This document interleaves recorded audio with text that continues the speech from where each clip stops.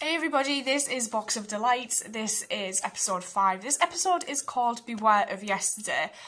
Now, at the end of the last episode, we found out that Pat, Caroline Louisa, probably the Bishop, probably Barney Dog, and Kay's friend Peter are basically all being held within the cellar of this country house where everything is basically going down. So today's episode, I'm assuming, is me should get these guys out of the cellar. But I'm quite looking forward to watching this one. Um, I've watched these so so quickly. I think I've literally, I've only had this like two days, and I'm already on this episode. So it's quite frightening that I've watched it this quickly. But I think it's because I've enjoyed it so much. Um, so I'm really looking forward to getting further on into the story, seeing how they wrap this up as well. Because there's only one more episode left after this. So let's just go. Look more closely. Yeah. Show his tomb at Palmer. Doesn't mean he's in it. But he must be 500. If we could get hold of this elixir thing, is it like a cough mixture? Oh and my put it on the market, I reckon. The box has disappeared, either at Yeah. Seekings, perhaps at the Bishop's Palace at Tatchester. Been held every year for a thousand years. Mm-hmm. Naturally, they'll do everything to see that it goes ahead. A reward of a thousand pounds for the return of the bishop. That's probably quite a lot of With money back reduced then. sums for all the rest. It's 25 quid even for a choir boy, and we... I think this guy might fold, you know. There's one thing I can't understand, boss. I, I cannot for the life of me understand. Hawlings would entrust the greatest magic device of all time to an insignificant brat is nonsense! He did. My other persona Yeah. As the Reverend Bottledale.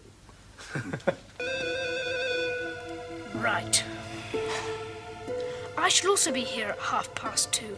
You'll find the missing clergyman there. I'm sure you will. How you run on about that college, Master Harker? never locks Now, the this is safe. what is known in Inspector, come along. We need every man we can get. Oh, things are afoot. cripes.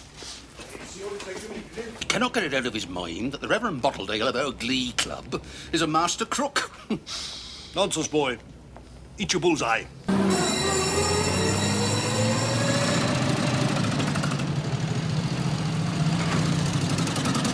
Kay, any news of Peter?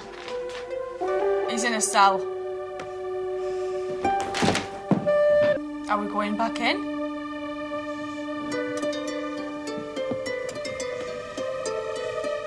Hun. Wow!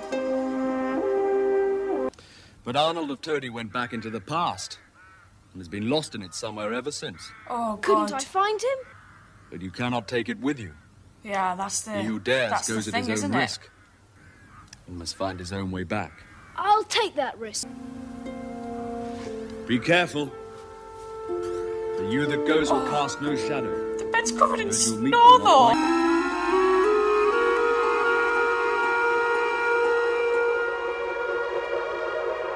I genuinely think this program is magnificent.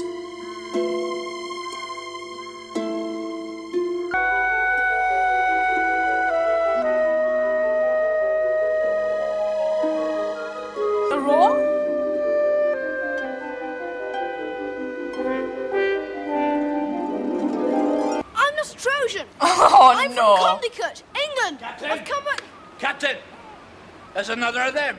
Not going to go into the water, Once is he? before, when we came upon a barbarian of this sort, how did we deal with him?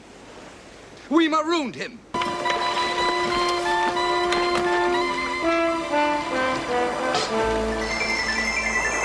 Is the boat going to disappear? Because they can just use it to get back.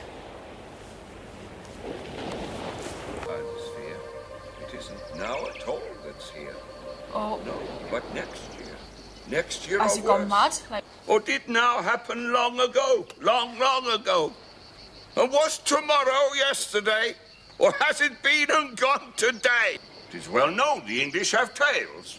The English haven't got tails. You have not, so you are not English. I've got quite lost in time. yeah, you could say that I again. know, sir. You are Arnold of Todi. I was. Offer me his elixir of life Yeah. in return for my box. He's now being I refused to give it, And now I know not where it is, nor where I am. And has caused no end of trouble in my own time and in my own town. If you would only come and take it back into ancient time. I do not want that box! Those and poor you, I must say, are an impertinent, ignorant, and insolent boy. Back where you'll never be found! This guy is actually mental.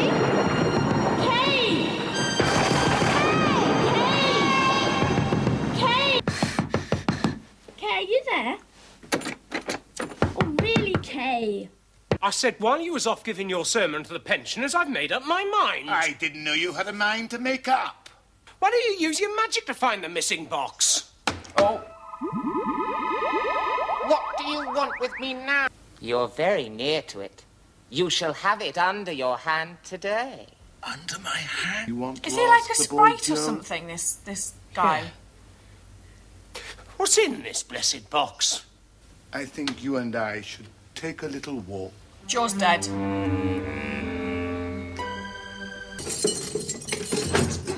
There's all the choir boys. My dungeons.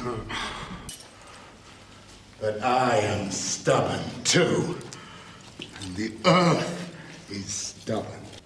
Oh, see a skeleton. Step inside and see if his bones are still there. Oh, yes. It's going to lock you I in, Joe. Under my hand. I shall have the box today. And enjoy your jewels. Oh, God. Do it today. Flit off to some far country and let the others go.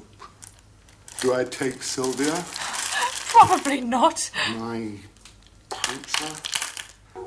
When I have decided about Sylvia. One last. It's funny. Shit. Can't happen.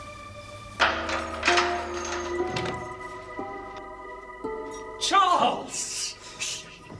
About to Oh, flip shit. off and leave me in the lurch. Well, uh, what? Not to put too fine a point on it, Sylvia. He may be back at any moment. You can say that again. Only a bit of rag. A Bit of jeweller's cleaning rag or some such. There. Now, away. That episode was all over the place. Like, there's so many like double crossings going on in this. It's it's an interesting one. I really enjoyed it though. I loved that we got back into the forest. And I loved that we went and saw the man and met the man who created the box, although he was slightly unhinged. So I can understand why obviously he's he's kind of gone into the past maybe because he knew he couldn't handle the power of the box. I'm not too sure. Maybe that gets resolved in the last episode, but it's been a bit weird because we've only had Pat in episode one, and I'm just like, where's Pat? Where's Pat? And we want we want Barney Dog back. Um, but I am really excited to see how this one concludes now that everything's kind of going against Abner. So I might just go watch the last part, and I'll see you guys later. Thank you.